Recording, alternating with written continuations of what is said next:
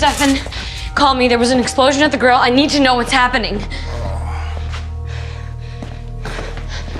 Damon? Hey, can you get up? Oh my God, where's Stefan? I'm gonna kill him. Ow! Ow! He took your ring.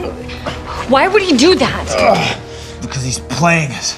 All this stalling, getting hybrids, taking my ring, added up. He's either made a deal with Klaus or he's compelled. Then I need to get in there. No, Elena, this guy's dangerous. So am I, Damon.